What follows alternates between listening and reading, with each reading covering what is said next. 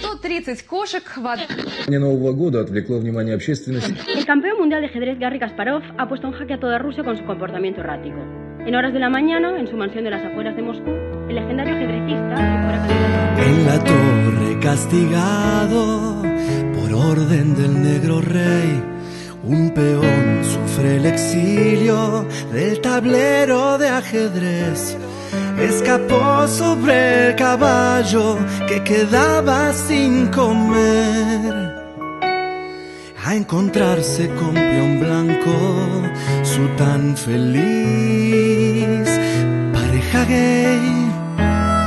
Las dos reinas indignadas que no lo pueden se juntaron a escondidas tras la taza de café que dejó enfriando anoche en la mesa Kasparov y aburrido sobre el paño allá en Moscú se durmió. El rey negro es un retrógrado monarca totalmente aburguesado en las cuestiones del amor. Reina Negra le ha pedido ya el divorcio y que solo sean socios si total no hay más pasión. Mientras tanto allá en la torre donde preso está el peón Escribieron en blanco con un aerosol Jaque mate al discriminador En la torre castigado por una injusta razón el peón negro enamorado pide tablas al campeón y las piezas de ambos lados le han armado al dictador.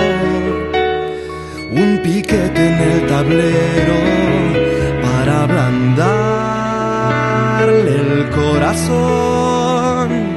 El rey negro atornillado en su baldosa finalmente dio a su esposa el divorcio vincular. Reina negra pasó por el bisturí y hoy sale con joven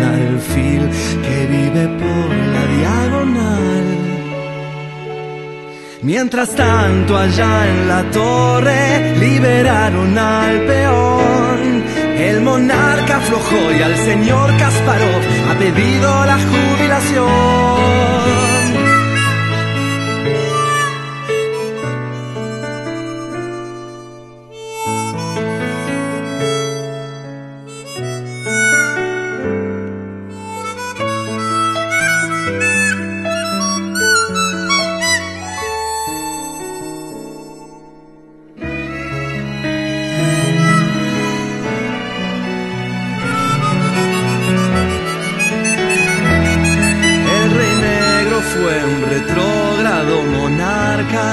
resistido en la comarca por machista y por cabrón. Deprimido sale poco de la caja y producto de su fiaca cambió el hábito al campeón.